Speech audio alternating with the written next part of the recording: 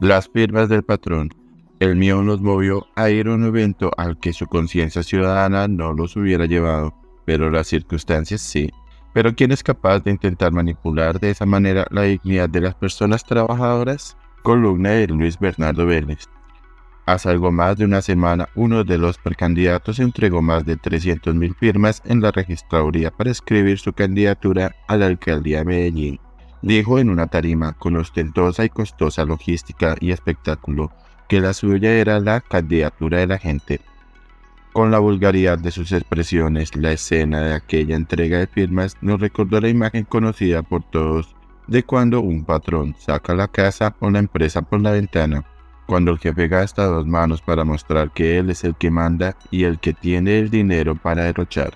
Lo dramático de esto, además de lo grotesco, es que muchos de los que allí estuvieron lo hicieron para no perder su trabajo.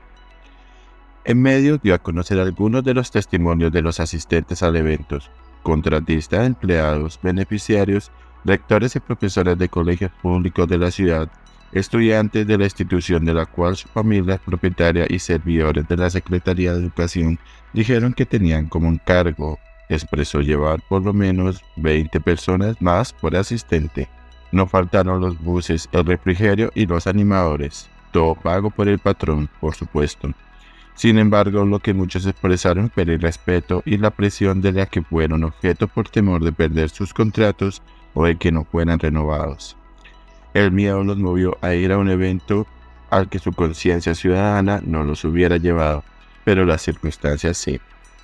Pero ¿quién es capaz de intentar manipular de esa manera la dignidad de las personas trabajadoras? Un candidato que cree que todo se trata de dinero. ¿Será así cierto? Las instituciones de educación superior en Colombia, incluso las mal llamadas privadas, no pueden ser con el ánimo de lucro ni tener lo que abiertamente llaman dueños. Pese a esto, el candidato de las 3.000 firmas alardea de su talante empresarial y negociante, haciendo gala de enriquecerse con el negocio educativo. No bastando esto, hemos tenido que ver con tristeza cómo la Secretaría de Educación, bajo la influencia del candidato en mención, ha sido poco de uno de los casos de presunta corrupción que más nos ha dolido en el alma por tratarse del futuro de los niños y niñas de Medellín, Seguro veremos otras cosas que saldrán a la luz y se revelarán en su debido momento cuando se termine esta administración.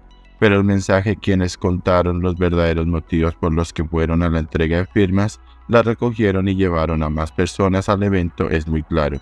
No se engañe candidato, con la dignidad de las personas trabajadoras no se juega. La lógica del jefe que manda decir a los empleados que no jueguen con la cuchara funciona solo para el evento. Esa dignidad es la que ha mantenido en pie a Medellín a pesar de que en su historia varios han querido ser su patrón.